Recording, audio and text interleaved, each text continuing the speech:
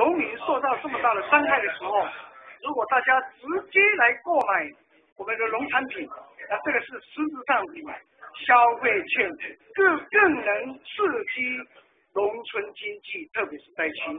所以我要特别呼吁，务必务必啊，拜托来选购屏东的农产加工品，啊，对农民最实质的爱心与帮助。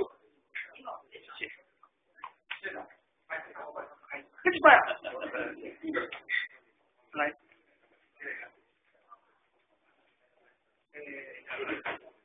导数。